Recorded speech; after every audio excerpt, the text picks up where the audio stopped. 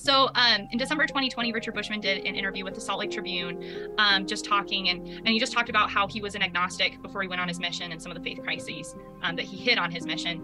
And one of the things that is kind of just important to realize is they, they were asking him, you know, like, so on his mission, he's wrestling, like, do I even believe about the Book of Mormon witnesses? Did, were they deceived? What really happened? And when his mission president came and asked him to bear his testimony, he just said, I know the Book of Mormon is right.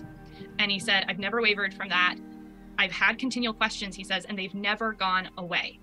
And so the interviewer asked him, Well, what do you mean the Book of Mormon is right? And he's like, Well, he was like, I don't know. That's just the word that came to me rather than true.